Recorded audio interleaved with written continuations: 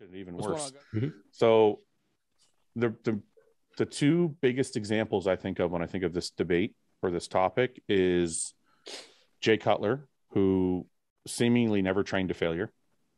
Uh, and then I think of Dorian Yates, who trained to failure every workout on every, not every set, but all his working sets.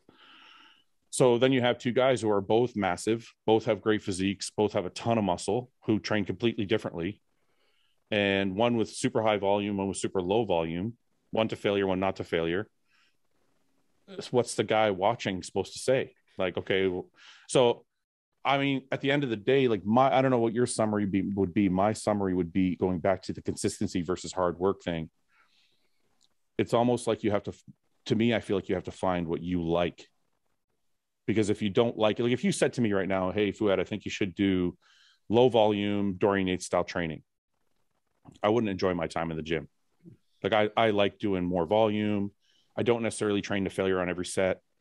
Um, so my thought process would be you have to kind of do what you like or else you're not going to do it every day I, I, think that, I think that that's true, but I also think there is a trade-off, and you hit the nail on the head there uh, between volume and intensity. So what what you generally so you'll hear of people like Jay who is slightly lower. Jay still trained hard as hell. Oh, of course. Like he, yeah, he yeah. trained super hard, but not always to failure. He was more of like a mind muscle connection guy for the most part, from what I could tell. Yeah. Um, but he did very high volume. Like his workouts were crazy. Yeah, like five sets, 20, 25 uh, to 30 sets. Each exercise is nuts. Like his back day. I actually watched this recently because I did a video about this, and I so I watched a bunch of Jay's training footage, and um, his back day, I was like, okay, pull downs all right, machine row.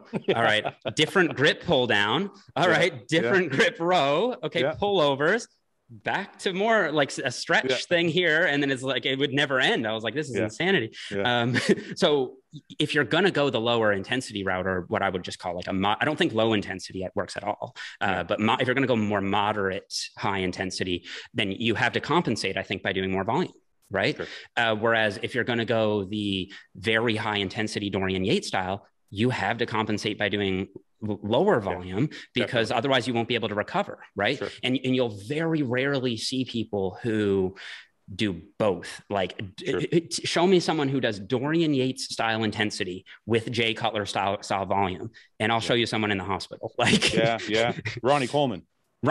there you go. Yeah, Ronnie pretty Coleman. much. That's and, and even of. in Ronnie's case, actually, this is interesting because I looked at Ronnie's training, and even he, I wouldn't say took all sets to failure but no. when he when he went there he went there like he yeah. went there and i think an issue with him too was that i think he went there on some more risky exercises. Like Definitely. he was going there on front squats and deadlifts and like these exercises that like even power lifters who are required to do these lifts yeah. are not going that hard. So yeah. that was another factor that that came in there but yeah, so what do we so i i kind of gave my summary. What do you is that your summary to the person watching? Like you're going to pick one or the other and that's just like and that's actually pretty much what i would say honestly yeah, I, I yeah. think that i think that if you're the type of person who say you know and, and you have to self experiment right because yeah. some people legitimately and, and we see this in the studies too by the way this is another big thing sure. is that like i say okay this study found this no, the study found that on average,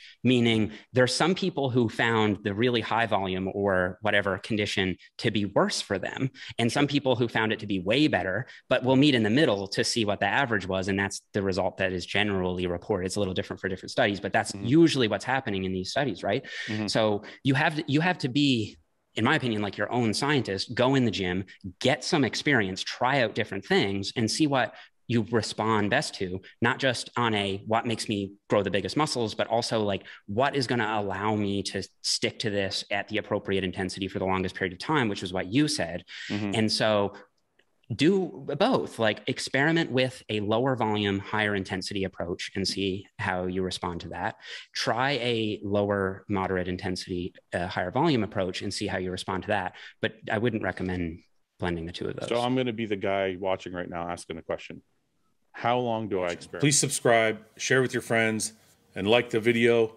And if you get a chance, check out the description for all the different links to all the different places you can find Hosstile and myself.